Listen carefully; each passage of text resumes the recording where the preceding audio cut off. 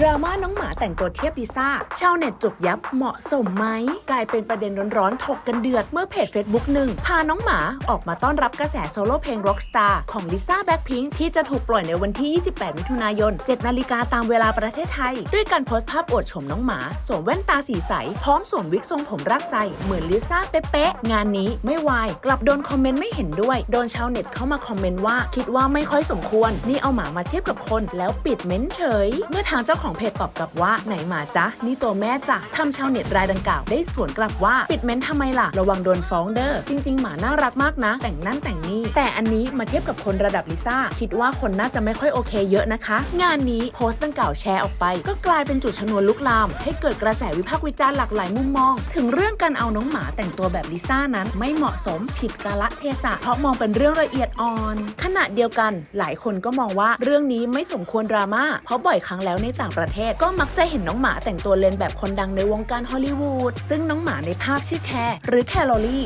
สุนัขพันธุ์ชิวาวาจากเพจคิ้วคือมงกุฎของแคร์มียอดผู้ติดตามกว่า 3 0 0แสนคน และในติ๊กต็อกอีกกว่า 2 ล้านคน จาก signature การ pose ท่าจิกกล้อง และการแต่งตัว cover ดาราต่างๆ เสมือนเป็นเซเลบท่านหนึ่ง